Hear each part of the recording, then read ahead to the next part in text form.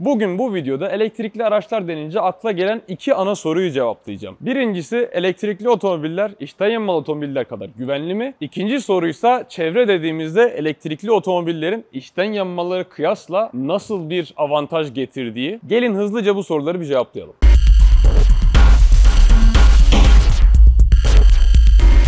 Bu soruları cevaplayabilmek için yanımda gördüğünüz gibi iki adet otomobil var. İkisi birebir aynı görünüyor ama aslında çok ciddi bir farkları var. Solumda gördüğünüz Opel Mokka elektrikli, sağımda gördüğünüz içten yanmalı bir Opel Mokka. Solumdaki araca baktığınız zaman 450 km menzile kadar menzil sağlayan tam anlamıyla bir elektrikli otomobil. Bu yüzden bugünkü sorularımızı cevaplamamızda bizim kullanabileceğimiz bir örnek aslında. Bu araçlar dıştan baktığınızda çok benzemesiyle birlikte aynı zamanda karoser yapılarının birebir aynı olmasından kaynaklanan bu aynı dayanıma sahip olmaları olmalarının yanında elektrikli otomobiller her geçen gün gelişen pil teknolojileriyle birlikte daha da güvenli hale gelmeye devam ediyorlar. Örneğin hava yastığının açılma durumunda pilin içindeki bu seri bağlantıları sağlayan bağlantılar açılarak pil güvenli bir şekilde deaktive ediliyor. Aynı şekilde pil sıcaklığı kritik duruma yaklaştığı zaman yine aynı bağlantılar deaktive oluyor ve güvenlik sağlanmış oluyor. Herhangi bir durumda aracın kaputunun içinde bulunan elektrik soketini söktüğünüz zaman ise manuel bir şekilde yine elektriği deaktive edebiliyorsunuz ve aracı güvenli bir halde halde bırakabiliyorsunuz. Bu tür teknolojilerin çok hızlı bir şekilde ilerliyor olması elektrikli otomobillerin belki de kısa vadede içten yanmalı otomobillerin önüne bile geçmesine olanak sağlayacak teknolojiler. Bütün bunların yanı sıra elektrikli otomobillerin birlikte geldiği teknolojiler de kendilerine ekstra bir güvenlik sağlıyor. Dilerseniz gelin araca bineyim ve size bu teknolojilerin tam olarak nasıl çalıştığını göstereyim.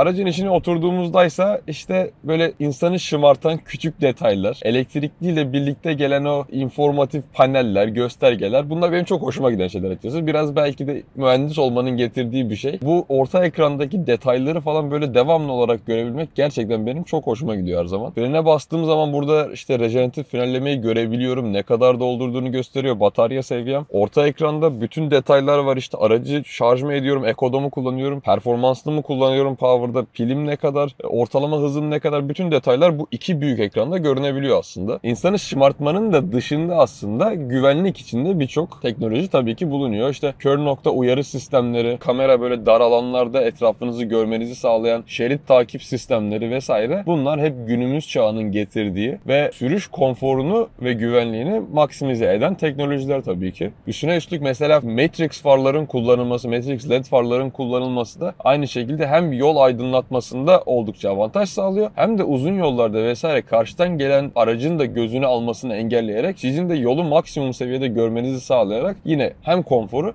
hem de güvenliği arttırmış oluyor. Opel bu teknolojiyi Intellilux LED Matrix farlar olarak tanıtıyor. Ama bu bahsettiğim bütün konfor ve güvenlik unsurlarını içinde barındıran teknoloji bu. Ve tabii ki değinmezsek olmayacak bir şey elektrikli otomobil kullanıyorsanız çevreye biraz daha duyarlı olmak istiyorsunuz demektir. Bu duyarlılık da aslında karbon ayak izini azaltmaktan geliyor. Çünkü elektrikli araçların kullanım karbon emisyonu sıfır olarak geçiyor. Kısacası siz kullanırken dışarıya aktif olarak herhangi bir karbon gazı salmıyorsunuz. Ortalamada bir yıllık kullanımda durumu eşitliyorsunuz. Bir otomobili bir yıldan fazla kullandığınız zamansa tamamen artıya geçmiş oluyorsunuz. Karbon emisyonunu azaltmış oluyorsunuz elektrikli otomobil kullanarak. Çoğu araştırmalar ortalamada işte 8 yıl ya da 200 bin kilometre kullanılacak varsayımıyla yapılarak ortaya konuyor. Bu durumlarda elektrikli otomobillerin çok rahat bir şekilde içten yanmalılardan toplamda her şeyi içine koyduğunuzda daha az karbon emisyonu yaptığını görebiliyorsunuz. Ama biliyorsunuz ki ülkemizde 200 bin varsayımı az bile. Çoğumuz araçlarımızı alırken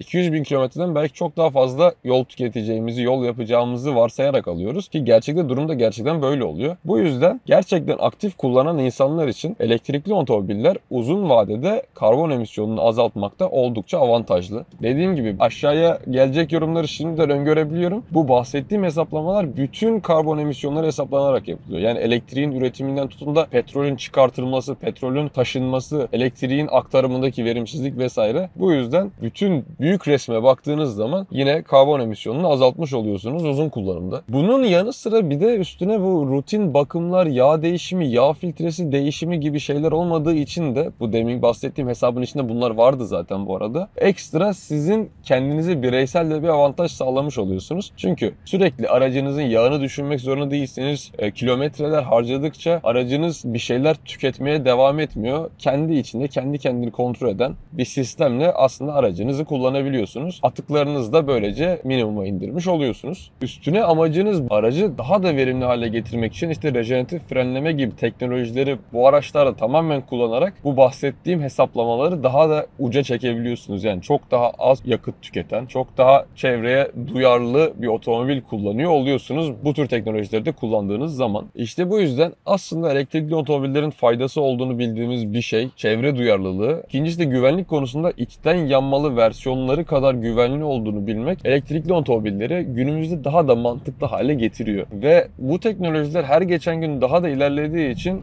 her geçen gün çok hızlı bir şekilde işte ileriye yolda kat edilmiş oluyor. Sizin bu konudaki düşünceleriniz neler? Aşağı yorum olarak yazabilirsiniz arkadaşlar. Ayrıca şu an kullandığım Moka elektrikli hakkında daha fazla bilgi edinmek isterseniz aşağıdaki linkten Opel'in web sitesini ziyaret edebilirsiniz. Bugünlük anlatacağım her şey bu kadardı. Kendinize iyi bakın. Hepiniz hoşçakalın.